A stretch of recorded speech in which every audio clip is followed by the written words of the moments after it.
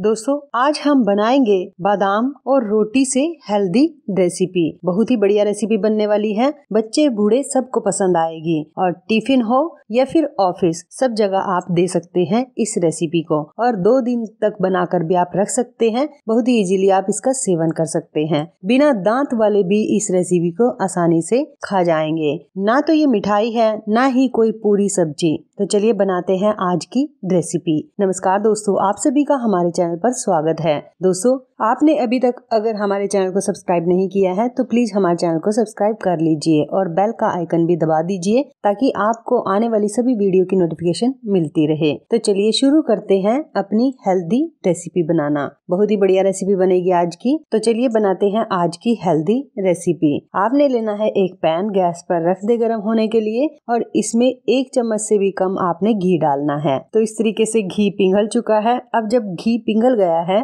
तो इसमें डाल लेते हैं मुट्ठी भर बादाम। मुट्ठी भर बादाम ही दोस्तों आपकी हेल्थ को बहुत सारे फ़ायदे देंगे। ये जो बादाम है, आपने इनको सिम गैस पर रोस्ट करना है। दोस्तों, जो बादाम होते हैं, इनके खाने से एक तो हमारा दिमाग तेज होता है, हड्डियाँ हमारी कमज़ोर हो चुकी हैं, उनमें भी जान ला देगी ये रेसिपी कोलेस्ट्रोल को कंट्रोल करने के लिए आप इनका सेवन कर सकते हैं। घाव कहीं बन गया है, उसको भर सकते हैं आप बादाम को खाकर, या फिर सूजन आ गई है आपकी बॉडी में, उसे भी सही कर सकते हैं। हमारी हमारी इम्यूनिटी भी इससे बढ़ जाएगी और पाचन के लिए भी बहुत बढ़िया होते हैं बादाम। वज़न को कंट्रोल करने के लिए भी दोस्तों आप इस रेसिपी का सेवन कर सकते हैं। हमारे हार्ट के लिए भी बहुत बढ़िया है ये रेसिपी तो इस तरीके से दोस्तों आपने बादाम को रोस्ट कर लेना है। बस सिम गैस पर आपने इसको दो से तीन मिनट इस तरह से रोस्ट करना है। ये रोस्ट हो चुके हैं, देखिए आप देख रहे हैं। बस हमने इसको साइड रख देना है या फिर आप इनको किसी बर्तन में निकाल कर रख सकते हैं। इनको थोड़ा सा ठंडा होने देते हैं। जब तक ये ठंडा हो,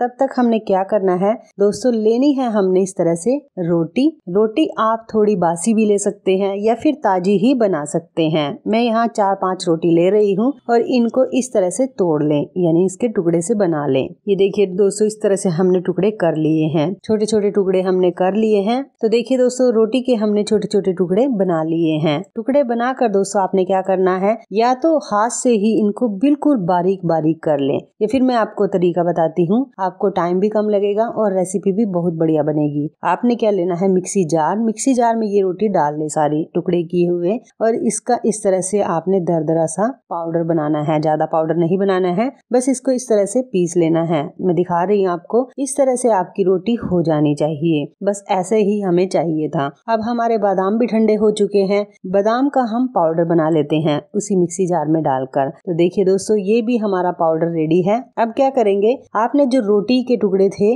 वो एक बाउल में डालकर रख लेने हैं और इसमें डाल लेना है ऊपर से बादाम। वही पिसा हुआ बादाम, यानी बादाम का पाउडर, आप चाहे तो और दूसरे ड्राई फ्रूट्स भी ले सकते हैं, जैसे काजू पिस्ता ले सकते हैं। अब दोस्तों, क्योंकि हम इसको बहुत ही बढ़िया टेस्टी रेसिपी बनाने वाले हैं, इसमें डाल लेते हैं कुछ ऐसी चीज़ें जो आपकी हेल्थ को बहुत बढ़िया रखेंगी और खाने में भी ये टेस्टी लगेगा। यहाँ पर मैंने ली है, ये है शक्कर, यानी गुड़ के जैसे ही शक्कर होती है तो आप यहाँ पर या तो पिसा हुआ गुड़ ले सकते हैं, या फिर इस तरह से शक्कर मिलती है, वो ले सकते हैं। वो अपने टेस्ट के अकॉर्डिंग ले लें, कम ज़्यादा कर सकते हैं। मैंने यहाँ पर ली है एक कटोरी के करीब शक्कर, और दोस्तों इसको मिक्स कर लेते हैं। मिक्स करने के बाद इसमें डाल रही हूँ यहाँ पर पाँच से छह चम्मच घी के। ये देसी घी है। देसी घी से दोस्तों हमारे शरीर में जान आ जाती है। दोस्तों कमज़ोर शरीर में जान लाने के लिए घी ज़रूरी है। जब हम घी का सेवन करते हैं तो कमज़ोरी कैसे गायब होती है, ये हम सभी जानते हैं। तो आपने यहाँ पर देसी घी का ही इस्तेमाल करना है। डालडा वगैरह नहीं लेना है, बस देसी घी।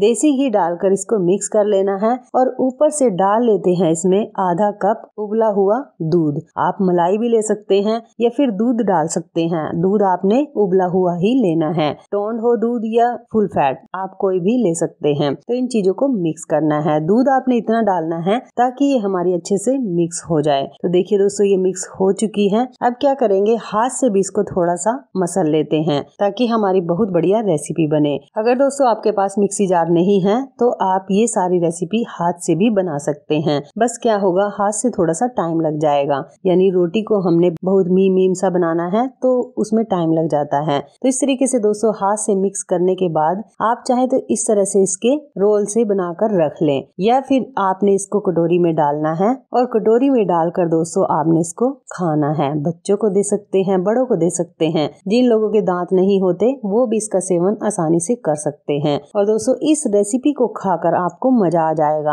आपकी हड्डियाँ कमज़ोर हैं, वो सही होंगी। हड्डियों में जान ला देगा ये नुस्खा। और इम्यूनिटी बढ़ानी है, तब भी आप इसका सेवन कर सकते हैं। कोलेस्ट्रोल को कंट्रोल में भी कर सकते हैं इसको खाकर। हार्ट के लिए भी बहुत बढ़िया होता है। पाचन तंत्र इससे मज़बूत होता है। बादाम में दोस्तों न्यूट्रिएंट्स भरपूर मात्रा में होते हैं। प्रोटीन आयरन काफ़ी मात्रा में इसमें होता है। तो इसको खाने से हमें एनर्जी भी भरपूर मिलती है। तो इस तरीके से दोस्तों आप ये रेसिपी घर में फटाफट से बना सकते हैं। सुबह हो या दोपहर, आप किसी भी टाइम इस रेसिपी को बना सकते हैं। फटाफट से बन जाएगी आपकी रेसिपी, बिल्कुल भी टाइम नहीं लगेगा। बच्चों को इस तरह से रेसिपी बनाकर दे सकते हैं। बच्चों के लिए बहुत ही हेल्दी रेसिपी है। तो दोस्तों आप कब बना रहे हैं इस तरह की रेसिपी? आपको कटोरी में खाना पसंद है या फिर इसके लड्डू से बनाकर खाना पसंद है? हमें कमेंट बॉक्स में लिख ज़रूर बताना। और वीडियो आपको कैसी लगी, अच्छी लगी तो प्लीज़ वीडियो को लाइक करें शेयर करें चैनल को सब्सक्राइब करें। मिलते हैं दोस्तों नेक्स्ट वीडियो में नेक्स्ट रेसिपी के साथ। तब तक धन्यवाद।